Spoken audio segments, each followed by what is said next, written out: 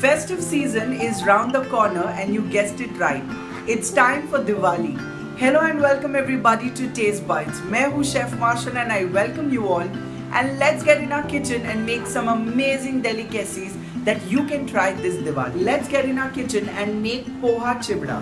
पोहा का चिवड़ा बनाने के लिए सबसे पहले मैं पोहा को ड्राई रोस्ट करूंगा you can even fry the poha but आज मैं एक healthy way of poha chivda बनाने वाला हूँ तो एक पैन में अराउंड वन कप चिवड़ा लेके एकदम स्लो हीट पे मुझे इसको क्रिस्प होने तक रोस्ट करना है ड्राई रोस्ट करना है।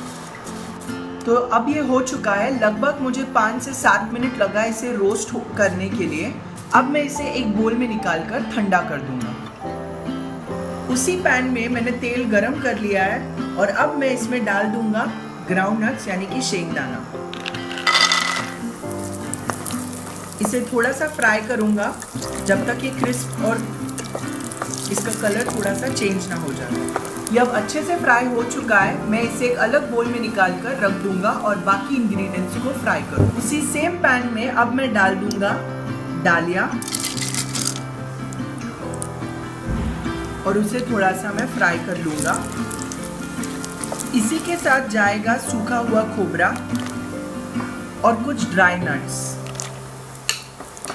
इसे मैं अच्छे से मिक्स कर लूँगा। और जैसे ही इसका कलर थोड़ा सा चेंज हो जाता है और ये क्रिस्पी होना चालू होता है मैं इसे निकाल लूँगा। अब ये जब अच्छे से ब्राउन हो चुका है मैं इसे निकाल लूँगा इसी सेम पैन में। अब मैं फ्राई कर लूँगा कटा हुआ मिर्ची। और इसी के साथ मैं डाल दूँगा कड़ी पत्ता। और मुझे लहसन का फ्लेवर बहुत पसंद है तो मैं यूज़ कर रहा हूँ लहसन। इसे मुझे अच्छे से मिक्स करना है, ताकि ये भी क्रिस्प हो जाए।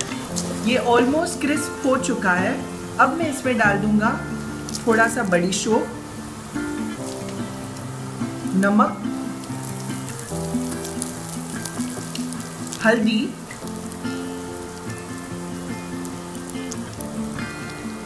थोड़ा सा मिर्ची पाउडर ये ऑप्शनल है, अगर आप चाहें तो आप यूज़ करिए।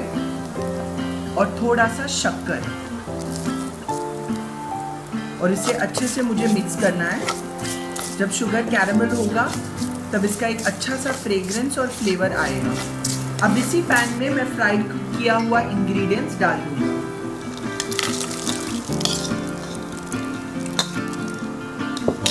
और इसे अच्छी तरह से मिक्स करना है।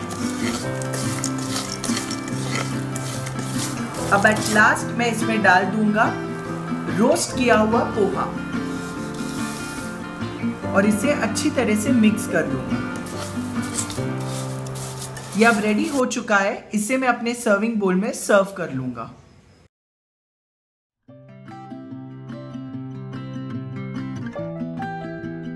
I hope you liked today's episode. Share it with your friends and family. Don't forget to hit the like button. Subscribe to my channel if you haven't. Until we meet again, happy cooking and stay fit and a very happy and a safe Diwali to all my lovely viewers. Till we meet again, enjoy Diwali and have a safe Diwali.